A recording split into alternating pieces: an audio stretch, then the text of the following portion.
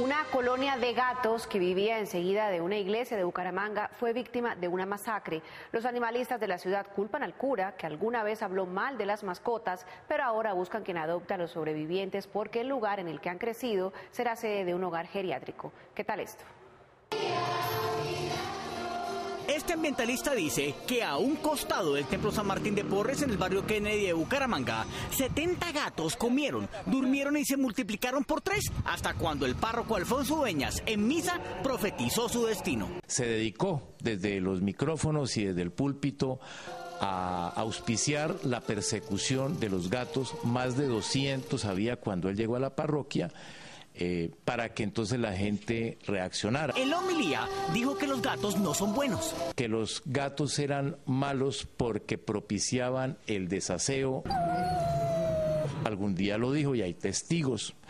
Esos gatos están buenos es para hacer salchichones con ellos y dice que las palabras del ministro calaron en los espíritus de algunos de sus asiduos piadosos que sin dar espera quisieron satisfacer al cura a su manera. La gente empezó a perseguir los gatos de muchas maneras, los empezó a envenenar, a echarles inclusive ácido. Asegura que de 200 gatos quedaron solo 35 y que siguieron disminuyendo tanto los residentes de la colonia que llamó la atención de unos ambientalistas que inspeccionaron el lote vecino a la iglesia del Padre Alfonso donde vivían los felinos e hicieron un macabro hallazgo.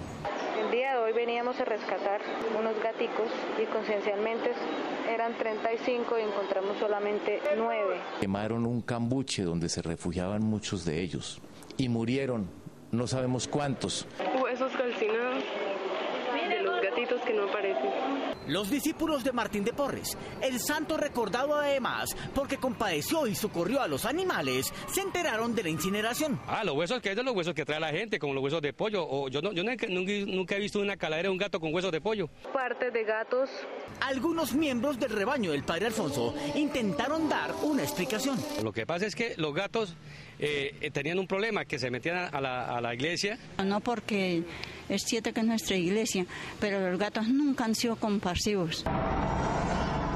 Yo tengo una hija que, que ella para tener una niña tuvo que con muchísima droga y tratamiento porque le dio esa sí. sí. Odio los gatos a morir. Sin embargo, los mismos asistentes a las prédicas del padre Alfonso insisten que el sacerdote no tuvo nada que ver con el gaticidio. Otros piensan lo contrario.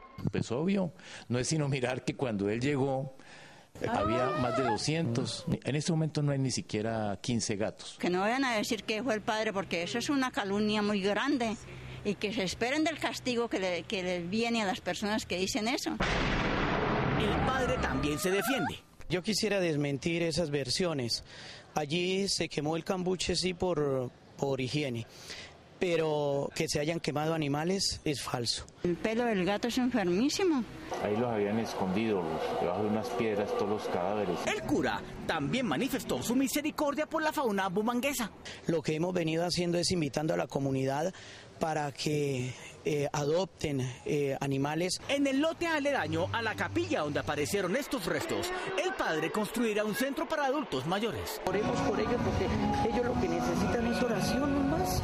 Hasta el momento no se sabe qué pasará con los gatos que sobrevivieron a los ataques y que se quedaron diagonal al presbiterio de la parroquia San Martín de Porres del barrio Kennedy en el norte de Bucaramanga.